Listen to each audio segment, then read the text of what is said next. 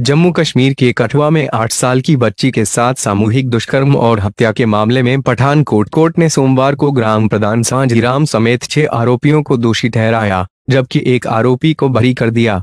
दोपहर को दोषियों को सजा सुनाई जा सकती है। क्राइम ब्रांच ने पिछले साल अप्रैल में सभी आठ आरोपियों के खिलाफ चार्टाशीट दाखिल की थी। इनमें से एक आरोपी नाबालिग है, उसका केस जम्मू कश्मीर हाईकोर्ट में चल रहा है। फैसले के मद्देनजर कठुआ और पठानकोट में सुरक्षा बढ़ाई गई। चार्जशीट के मुताबिक, सांझी राम पूरे घटनाक्रम का मास्टरमाइंड था। अपहरण के बाद बच्ची को उसकी देखरेख वाले मंदिर में रखा गया था।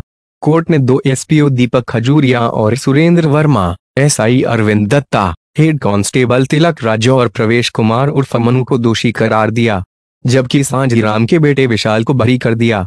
सुप्रीम कोर्ट के आदेश पर केस पठानकोट ट्रांसफ़र हुआ।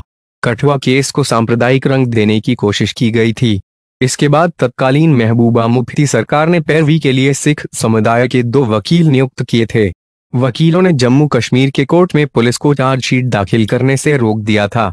इसके बाद ही मामले ने तूल पकड़ा और सुप्रीम कोर्ट ने मामले की सुनवाई पठानकोट की फास्ट ट्रैक कोर्ट ट्रांसफ़र करने का आदेश दिया था।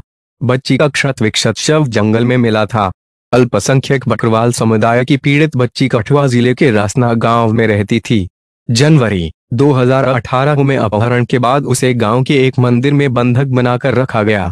यहाँ कई दिनों तक गैंगरेप किया गया, फिर सिर को हत्या कर दी गई।